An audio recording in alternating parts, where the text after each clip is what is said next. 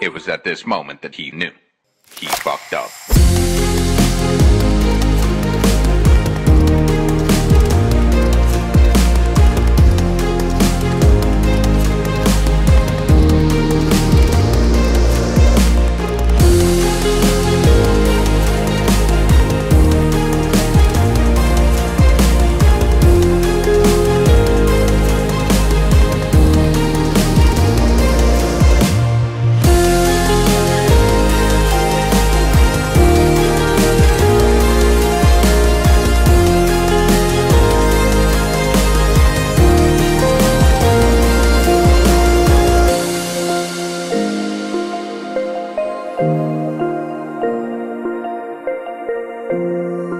Thank you.